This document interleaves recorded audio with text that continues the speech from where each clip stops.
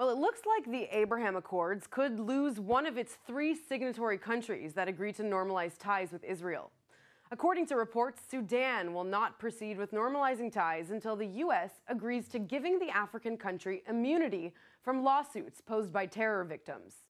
The Sudanese leader allegedly gave the U.S. Secretary of State Mike Pompeo an ultimatum and deadline to pass the bill by the end of the year.